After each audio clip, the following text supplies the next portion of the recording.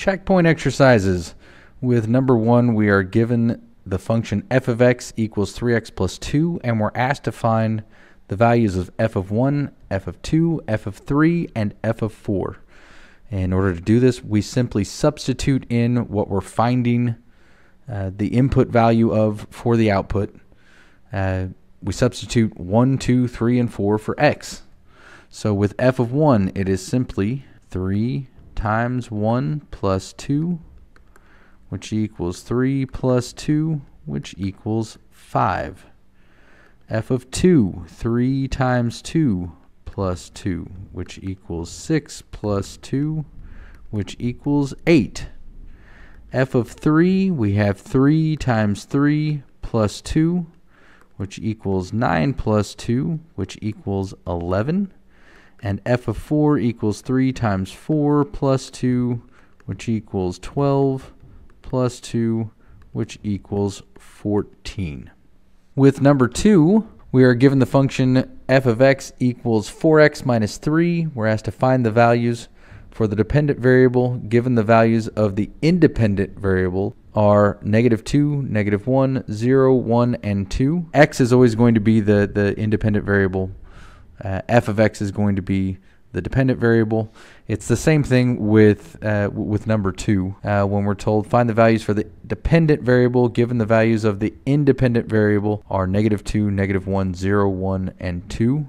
So x is going to be our independent variable and we're told to find the value of the dependent variable given negative 2, negative 1, 0, 1, and 2. And we'll go ahead and extend this out so we can do this in the table just like we were told to. f of x equals 4x minus 3. So f of negative 2 equals 4 times negative 2 minus 3, which equals negative 8, minus 3, which equals negative 11. f of negative 1 equals 4 times negative 1 minus 3 which equals negative 4 minus 3, which equals negative 7. f of 0 equals 4 times 0 minus 3, which equals 0 minus 3, which equals negative 3. f of 1 equals 4 times 1 minus 3, which equals 4 minus 3, which equals 1.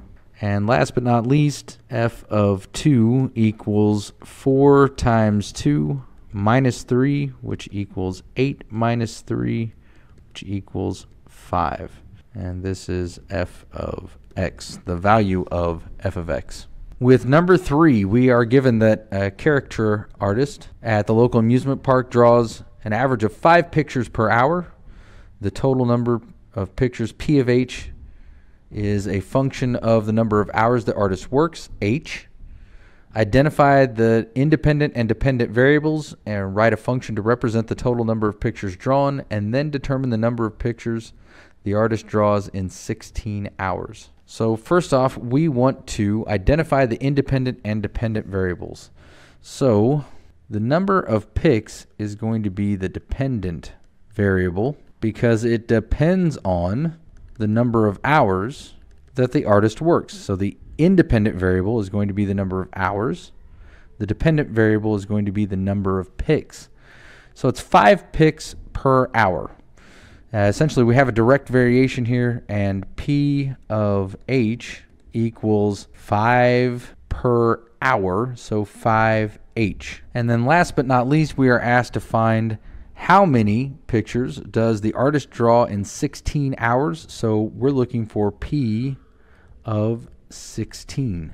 That equals 5 times 16, which equals 80 pictures in 16 hours. And again, if you have any questions about not just these problems, but any of the examples, uh, exercises, homework exercises, when you get to them that you have encountered, please message your instructor. Uh, your instructors are here to help. Just be as specific as possible so that your instructor can be as uh, of much help as possible.